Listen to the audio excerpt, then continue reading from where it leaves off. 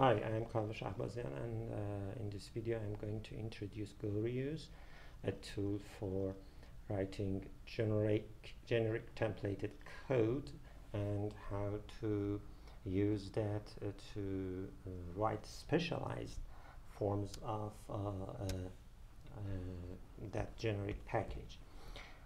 for demonstration purpose we are going to implement a, a sortable slice um, one problem with copy-paste approach is uh, when you find a bug in the original code, it's hard to uh, it's hard to um, fix it in all other uh, instances, all other places that uh, we have copied that uh, code to. Now, using a reuse, we can just uh, employ the Go generic, Go generate tool uh, to uh, just apply those fixes in all places that uh, uh, we need to uh, apply that patch, that fix. this is this is a slice of some unknown type interfaces and we are going to implement the sort uh, interface uh, sort dot interface. This is uh, there are three methods here len and swap and less. Um, len is just the length of the slice and swap is we we just have to swap the values at index i and index j. Um, which fortunately Go has a nice syntax for but we cannot write a generic less code. We can we don't know how to compare those uh, unknown types values uh, empty interfaces. So we just uh, use panic panic not available as a placeholder uh, now I can use this templated code uh, to uh, specialize it for specific concrete types. Uh, we just need to get the Go reuse. You can get it from GoPKG2 and the master um, is now uh, pointing at the version 2 of course.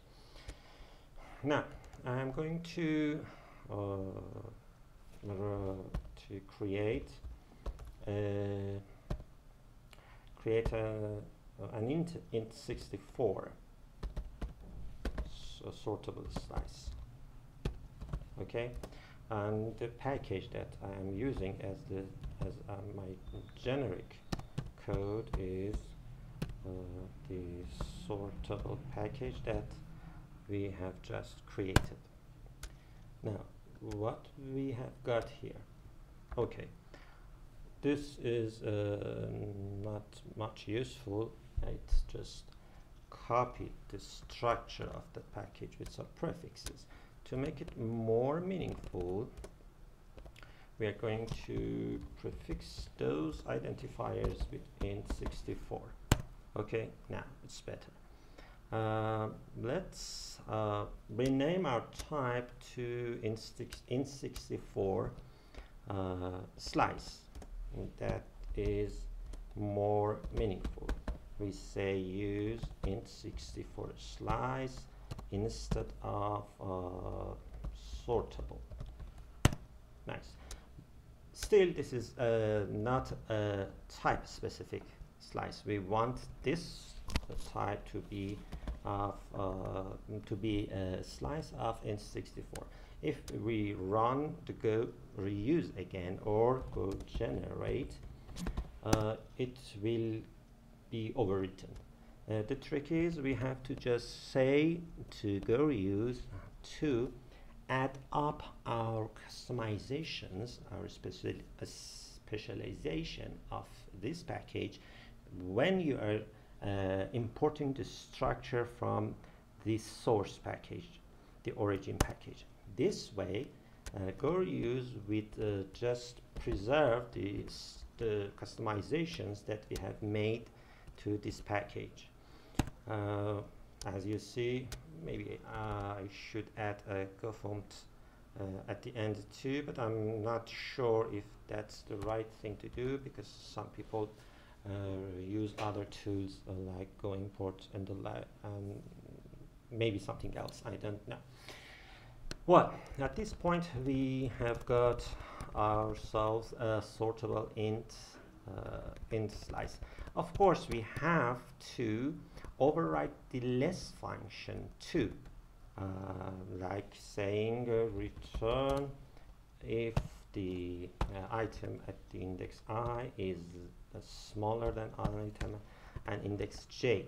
And to prevent the Go reuse to override this change too, we have to explicitly say to over Go reuse to preserve our changes.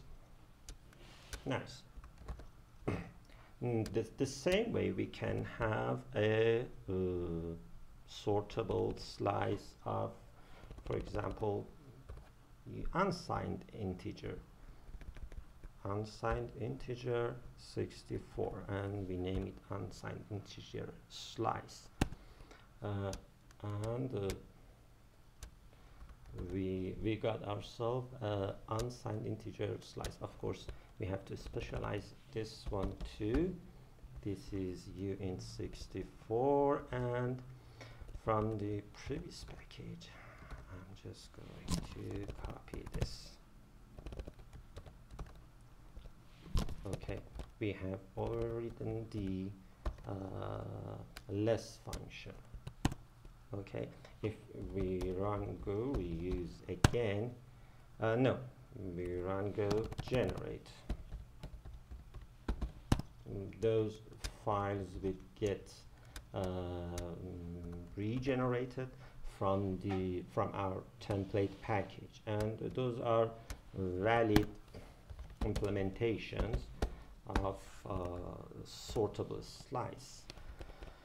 Uh, if I introduce an instance of int64 slice and pass it to the sort function from sort package, we see uh, it it it it just works. Well, uh, that was a nice example, but what about a more complicated example? Let's write a uh, generic uh, generic linked list. Fortunately, we already have a uh, an implementation of uh, linked lists uh, inside the standard uh, library. Let's just steal that. Okay, we are going to add a package and name that linked list.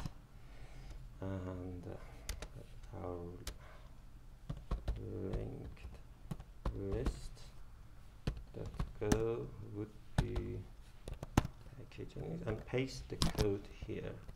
Of course we are going to let the copyright just stay where it should be. Nice. We now have a template linked list package and we are going to have specialized version versions of this linked lists linked lists of integers of strings or of any user defined struct Th this is uh, uh, the point that we will learn a new thing something that is not parameterized cannot be generalized. So, uh, as you see, there are places that interface is used in this package, empty interface. We are going to first convert those interfaces to a type alias. Why? Because this way we can uh, specialize that uh, type alias. Now, this type alias acts as a parameter to this package. Uh, how can we use this package, specialize this package uh, for certain types? We will going to uh, use the go reuse tool again and uh, we will put the output inside. For example int ll go. This is int linked list. And prefix all these all its identifiers with int. And the package is sample pkg and linked list. Okay what we got here? Oh this one. Okay nice. We got a, a specialized version of that linked list. Uh, everything renamed as uh, we like except that uh, we need to we want this type to be integer instead of empty interface. Uh, we use the same flag uh, for uh, renaming this uh, parameter to I will say int val uh, replace val rename val or replace val with int val and also preserve our customizations. As you see this is a linked list of uh, integers. Well uh, we can check that if uh, uh, if that's what we int new returns a linked list of uh, integers. And front 10 11 and 12 okay what we got here? Uh, we start with ill what a bad name. Whatever front and while our element is not nil. Just move to the next uh, element. Right. To the print oh, that value. Right. Go build and uh, also execute. Nice. Nice. The same way we can have a linked list of strings or of a user defined uh, structure. It doesn't matter. And strval okay we got ourselves a, a, linked list of strings. Uh, also we are going we have to uh, specialize this for uh, strings if I run go generate again.